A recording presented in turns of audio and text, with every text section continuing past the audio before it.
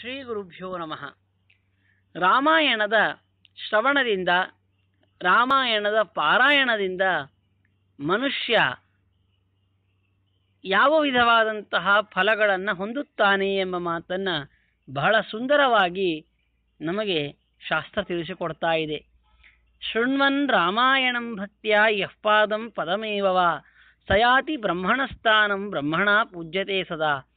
ಸಕೃದ್ ರಾಮಾಯಣಂ ಶುತ್ವಾ ಪುತ್ರ ಪುತ್ರವಾನ್ ಭವೇತ್ ಸ್ತ್ರೀಯೋ ರಜಸ್ವರಾ ಶ್ರುತ್ವಾ ಪುತ್ರಾನ್ ಸೂಯು ರಣುತ್ತಮಾನ್ ರಾಮಾಯಣಂ ಪಠೇದ್ಯಸ್ತು ತಸ್ಯ ದೇಹೇ ರಮಾಪತಿ ವಾಚಿ ಬ್ರಹ್ಮ ಮಹೇಶಸ್ತು ಹೃದಯೇ ನಿವಸಾಮ್ಯಹಂ ಬಹಳ ಸುಂದರವಾಗಿ ಹೇಳುತ್ತೆ.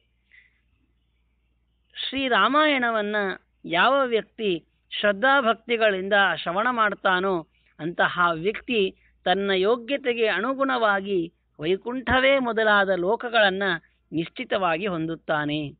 ಯಾವ ವ್ಯಕ್ತಿಗೆ ಪೂರ್ಣವಾಗಿ ರಾಮಾಯಣವನ್ನು ಕೇಳಲು ಅವಕಾಶವಿಲ್ಲ, ಪಾರಾಯಣ ಮಾಡಲು ಅವಕಾಶವಿಲ್ಲ, ಆ ವ್ಯಕ್ತಿ ಒಂದು ಶ್ಲೋಕವನ್ನಾದರೂ ಪ್ರತಿನಿತ್ಯ ಶ್ರವಣ ಮಾಡಬೇಕು ಅಥವಾ ಪಾರಾಯಣವನ್ನು ಮಾಡಬೇಕು.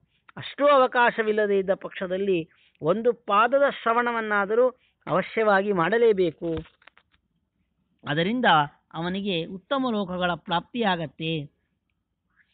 ಅಷ್ಟೇ ಅಲ್ಲದೆ ಯಾವ ವ್ಯಕ್ತಿಗೆ ಸಂತಾನ ಸೌಭಾಗ್ಯವಿಲ್ಲ, ಆ ವ್ಯಕ್ತಿ ಶ್ರೀರಾಮಾಯಣವನ್ನು ಸಮಗ್ರವಾಗಿ ಒಂದು ಬಾರಿಯಾದರೂ ಶ್ರವಣವನ್ನು ಮಾಡಬೇಕು. ಅದರಿಂದ ಉತ್ತಮವಾದಂತಹ ಸಂತಾನವನ್ನು ಆ ವ್ಯಕ್ತಿ ಪಡಿತಾನೆ.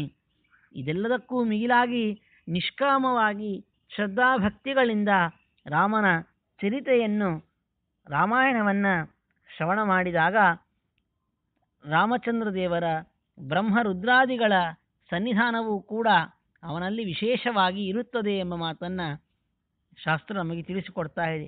ಹಾಗಾಗಿ ನಾವೆಲ್ಲರೂ ಕೂಡ ಅತ್ಯಂತ ಶ್ರದ್ಧಾಭಕ್ತಿಗಳಿಂದ ಅವಶ್ಯವಾಗಿ ರಾಮಾಯಣವಾದ ಪಾರಾಯಣವನ್ನಾಗಲಿ, ಶ್ರವಣವನ್ನಾಗಲಿ ಪ್ರತಿನಿತ್ಯ ಮಾಡೋಣ.